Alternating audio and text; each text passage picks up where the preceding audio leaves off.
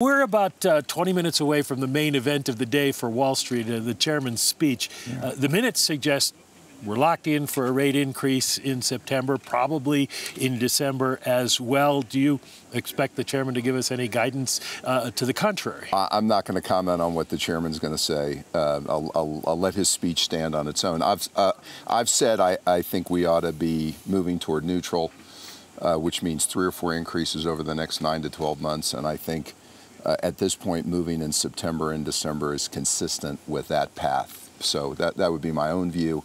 But I think uh, everyone around the table uh, should express their views independently, including the chair, and I know he will.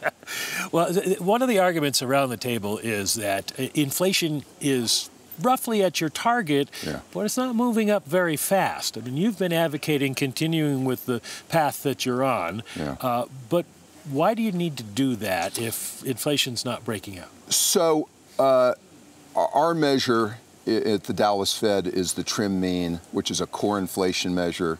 Uh, X's out extreme moves to the upside and downside, and we see that getting to 2% uh, by the end of this year and even strengthening beyond there. And here's here's what's going on. There's two conflicting factors. One is the cyclical factors. We've got a very tight labor market. We have higher input costs. Some of it's due to tariffs, maybe transitory factors. But there's no question the cyclical factors are pushing prices uh, upward uh, and, and having inflation. There are structural factors going the other way. Globalization, automation, you know, people being replaced by technology.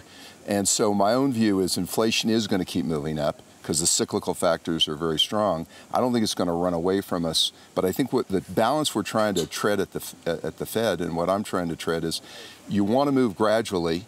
You don't want to move so slowly that inflation uh, and these cyclical forces get ahead of themselves and get ahead of us, and we have to play catch up, in which case we'd have to raise rates more quickly. And I think that typically leads to bad outcomes, uh, in particular a recession. So what we're trying to do is raise gradually and, and, and that's the reason why I've been advocating let's keep moving. The other reason I'm advocating let's keep moving, we're meeting our dual mandate objectives. We're meeting our full employment objective, as you said, inflation's around two percent.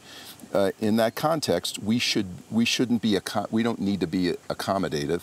We should be moving to a neutral stance, and neutral would mean, uh, for me, three or four increases to get to somewhere in the neighborhood uh, plus or minus of two and a half to two and three quarters percent, maybe a little bit more. And that's the primary reason why I've been advocating we should keep gradually uh, raising the Fed funds rate.